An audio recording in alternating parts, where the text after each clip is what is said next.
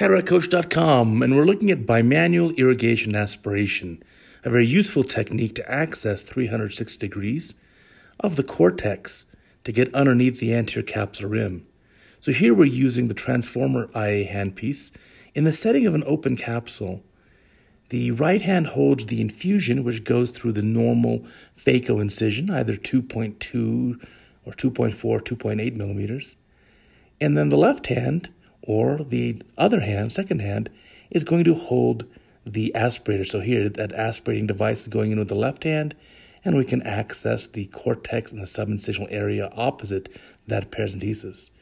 It is helpful if you have a second paracentesis, and if you have a second paracentesis that's on the opposite side, you'll get more access. It's a lot easier to access the full 360. Another benefit here, this is a case, again, with an open posterior capsule, which you can see there. It's very helpful in this case to have the infusion always in the eye. By keeping the anterior chamber fully inflated the entire time, not letting it collapse, we prevent vitreous prolapse. So, believe it or not, in this case, with 50% of the posterior capsule open, there will not be vitreous prolapse. So now the infusion's gone and staying in the same hand, and the cortex now is being removed with the aspirator through the second paracentesis. So you can switch hands here if you'd like. You can keep the hands, just move your positioning of them. Either way is acceptable. Here's something different. This is an IV used to give an intravenous line. We got it from our circulating nurse.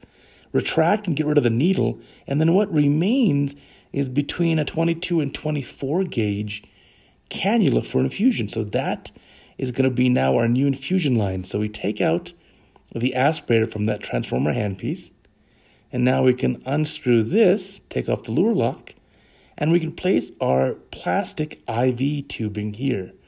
And again, we can match the size 22 or 23 or 24 gauge. Now that's helpful to do bimanual irrigation aspiration. Many surgeons routinely do bimanual irrigation aspiration through two paracenteses incisions, and in that case, they have instruments, typically non disposable instruments, that are used over and over again. In this situation, we didn't have that readily available. And we didn't want to use the main incision. We have a sulcus lens placed here, and we want to avoid having any kind of vitreous prolapse. So we want the anterior chamber to be maintained. So what we're able to do is use this cannula on the left hand to squirt around and keep the infusion, wash out any viscoelastic, and also prevent any kind of collapse of the anterior chamber. You'll notice that the main phaco incision is already sutured shut. Now we can hydrate and seal up the two paracentesis incisions as well as the main incision and finish the case. So a very important lesson here, and that is you have to be able to think on the fly and if you don't have a bimanual irrigation aspiration set ready, readily available, it's okay to use things like a plastic IV tip in order to accomplish the same goals. Thanks for watching.